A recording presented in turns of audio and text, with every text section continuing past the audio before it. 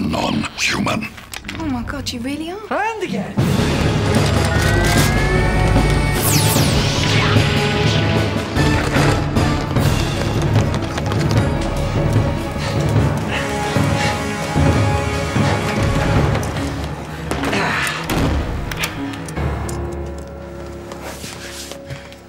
They've done this floor.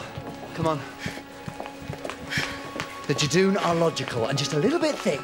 They won't go back to check a floor they've checked already. If we're lucky. How much oxygen is there? Not enough for all these people. We're gonna run out. How are you feeling? You all right? I'm running on adrenaline. Welcome to my world. What about the Judoon? Ah, great big lung reserves. It won't slow them down. Where's Mr. Stoker's office? This way.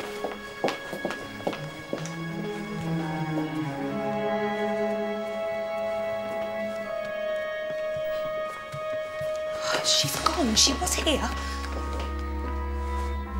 Drained and dry. Every last drop, I was right. She's a plasmavore. What's she doing on Earth? Hiding, on the run. Like Ronald Biggs in Rio de Janeiro. What's she doing now? She's still not safe.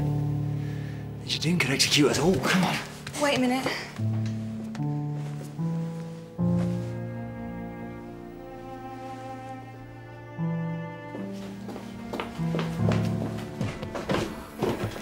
Think, think, think. If I was a wanted plasmavore surrounded by a police, what would I do? Oh. She's as clever as me. Almost.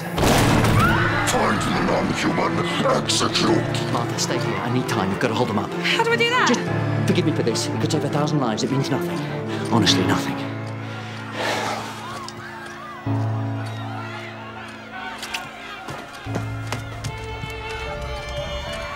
That was nothing.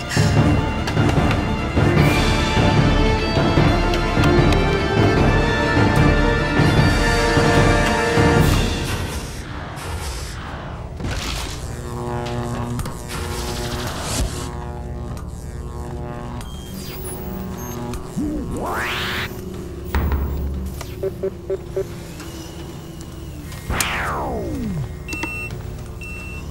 you seen there are these things? These big space rhino things. I mean, rhinos from space. And we're on the moon. Great big space rhinos with guns on the moon. I only given from my bunions, look.